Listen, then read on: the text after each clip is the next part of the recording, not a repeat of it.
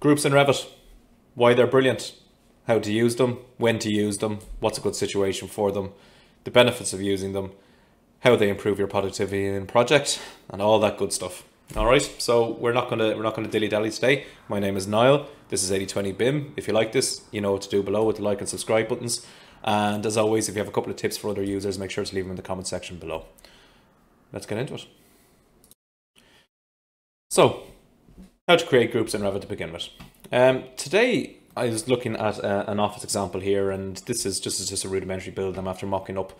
And what I have is kind of a, a an overall office layout, let's say, uh, in the absence of wash closet utilities that I want to explore design options for, let's say, or um, not necessarily design options, but I want to have a couple of variants of this that I already know are established, okay? Um, the benefits of creating the groups means that we can actually make edits across multiple instances very, very quickly, okay? It saves us going on a per instance basis to make edits. So looking at the example here, I want to create a group. So there are two types of groups to be cognizant of. There are model groups and detail groups, okay? And what you can do is you can select all of your model data like this, as I've just selected in this, okay? And I'm going to filter out some of the annotation items, for example. I don't want grids. I don't want reference planes, if I've selected a few of them. And generally everything else is okay. So I can press apply and okay for that selection.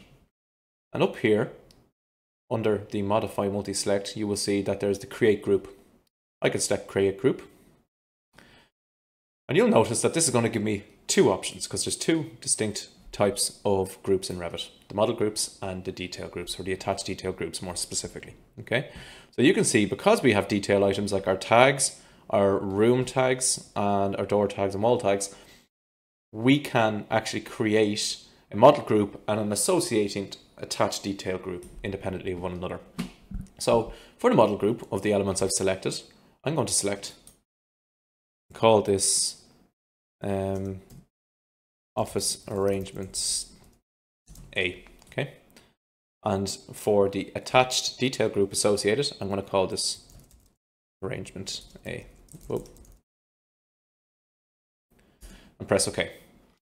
What this has done is I can select anywhere off in the wilderness here, and I can reselect that, and you'll notice that everything that I had as a previous selection is selected again. What's really, really powerful about this is we can actually array this around our project. We can copy it, we can mirror it, we can rotate it, and we will get multiple instances of this all the way through our project.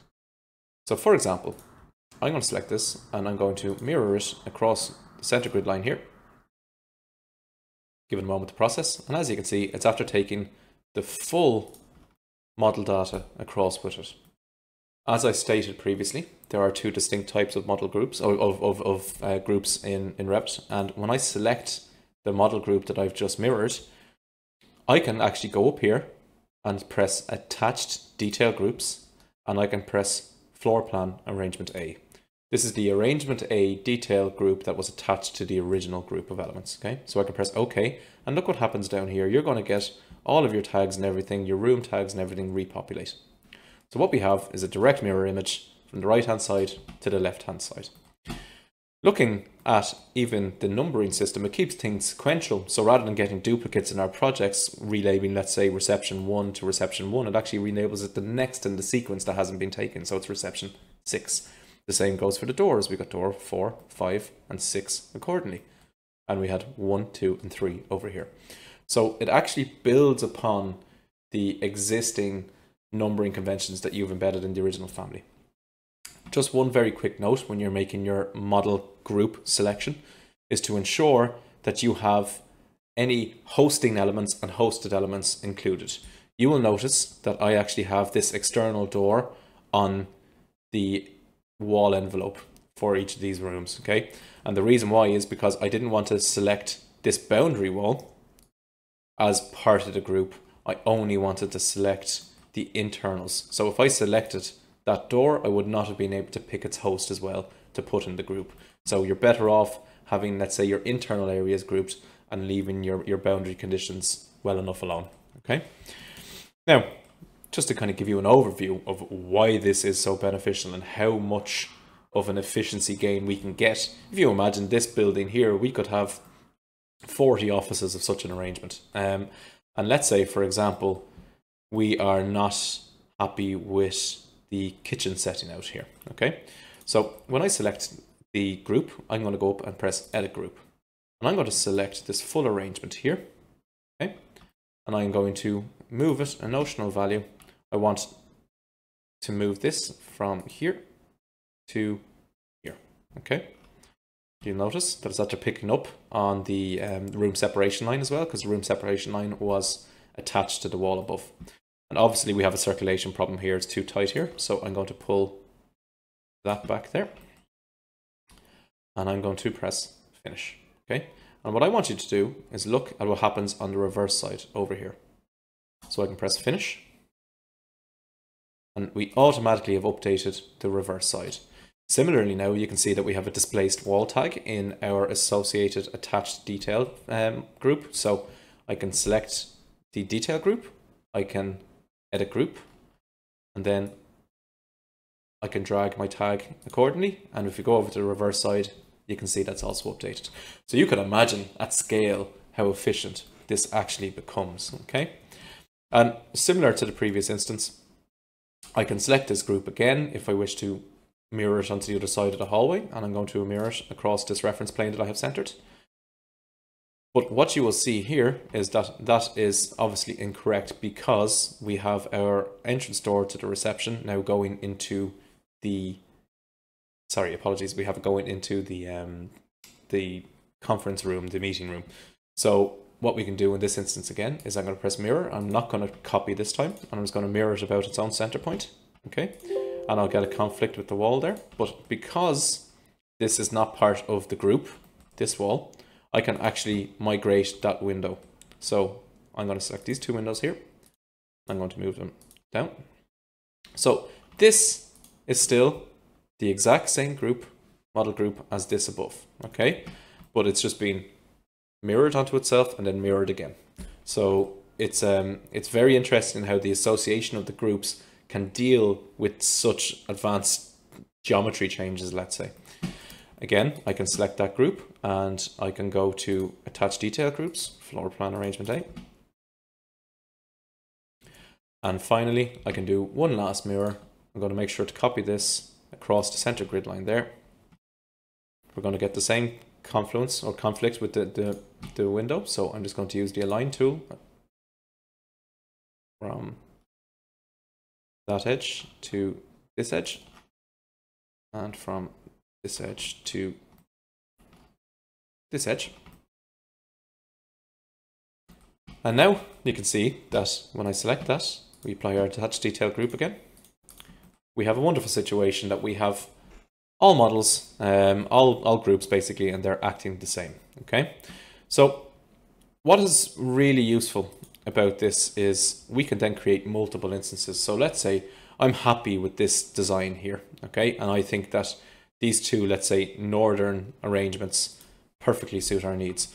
But I'm not actually happy with the desking arrangements on these the southern ones. Um, I'd like to update these, or I've had a furniture layout request from the, the end client and they want to update just these specific areas. So in that instance then, I can select this group and I can press edit group. Okay. And if we wanted to, we could detach distinctive elements if we want. So I can remove these elements here. But note, because we haven't actually disassociated it from the main model, okay, so I select that group there, it's still there, but I can delete these. Oh, sorry, apologies. and it doesn't affect the other instances, okay? However, you must notice that because it was the one group all the way through the model, that it has removed those instances, those little storage cabinets from every group, okay? So what we need to do is we need to learn how to make duplicates of existing groups and make edits to a new group, okay? So I'm going to go and control Z all that and I'll come back to you in a minute with the process for creating a new group off the back of an existing. So back to where we were before I removed all the storage cabinets from the group, you can see that this is still the original office arrangement A model group there on the the top left hand side, okay? And trust my mouse to start acting up now. Anyway, um, on this properties dialog on the left hand side, we can actually create a duplicate of this, much the same as any typical family or any systems family. We can go in, press edit type, and we can duplicate. And we're going to call this office arrangement B. I'm to press OK. Mm, OK. All right. And the great thing about this then is we can go into this, we can edit this group. And let's say I'm going to get rid of, no, I'm not going to get rid of any of them. We'll, we'll see, we'll see how the, the space works out. So I'm going to change the internal layout of these elements here. So I'm going to rotate 90 degrees. I'm going to move them towards this general direction. And as you can see, we're getting a bit tight over here. So I think I'm just going to center them generally in the room. Now, obviously, you'd be paying a little bit more attention to the back-to-back placement of your chairs, the circulation around than, than I am in, in this moment in time. I'm just trying to, uh, to work it out for the exercise, okay? So, um, I think I'm just about happy with that. And what I'm going to do is I'm just going to create two more copies of this guy down here. Okay, and here is our new office layout. Okay, so this is our group B, our group arrangement B. When I press finish, you can see now that that is an independently acting group from the main groups, okay? And I can come in here on the left-hand side and I can change the, the office arrangement to group B. And as you can see, it has updated accordingly. So we can very quickly flick back and forth between our groupings um, and this is particularly useful if you have things like hotels where you have potentially hundreds of rooms at a time and you might have two or three styles across the whole hotel and this allows you to do one set of updates rather than a hundred set of updates. Um, and outside of the, the benefits of doing this as, as, as simply as we have, um, there, there are other things that we can do. So the groups don't have to remain in the model, for example. So I can select that group if I wish. And you can see here, link at the top, okay? I can actually press this link, okay? And how do you want to convert the group? So we can replace an existing project file or replace with a new project file, okay? So let's say I had an external group that had already been, a, link had already been created from. I could just hot swap the two of these in and out if I wished. But in this instance, I'm going to replace with a new project file, okay? So I'm just going to call this, and we're just going to call this, um, same as group name, include attached detailed groups as views. That's something we would like to do, okay? So I'm going to press OK here. And if you watch what's going to happen now, this area will become grayed out when it's done processing. So as you can see, I've separated this out. This is an independent model on its own right. Okay, that's fine, don't worry about that. Um, but when I select this, you will see now, rather than selecting a group, it is selecting the office arrangement Revit file. This is an independent file that has been created off the back of the, the group. And rather, rather, what's brilliant about that is you could actually allocate smaller subsections of works that you know are going to repeat consistently throughout larger projects to one designer and they can manage it in an external file and you as the BIM lead or the coordinator or the information production um, technician can just amalgamate all these links into your, your, your project very easily. And for example, I could go back then to, if I um, just minimize this, apologies, I can go and open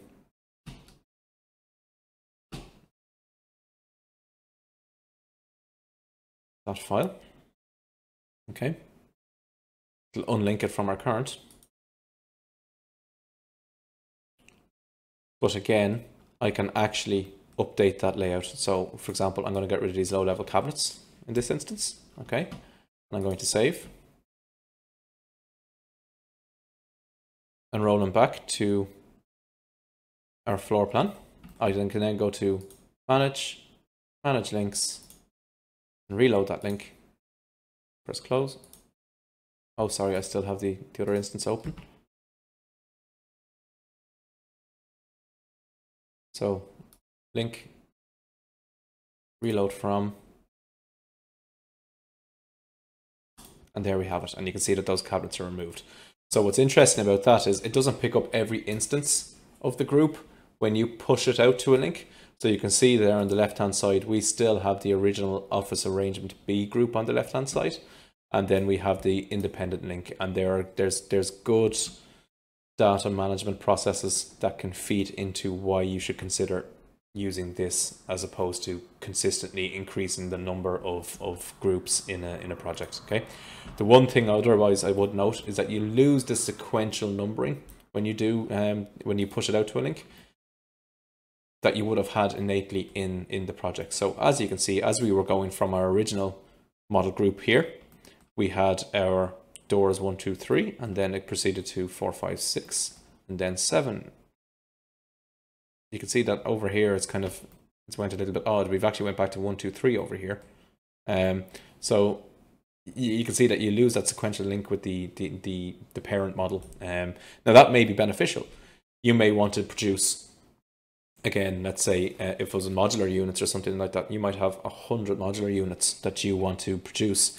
It doesn't make sense to have a schedule of hundred of each door type when you can have one schedule that's applied to a hundred projects basically mini projects that are then embedded into another project. Okay.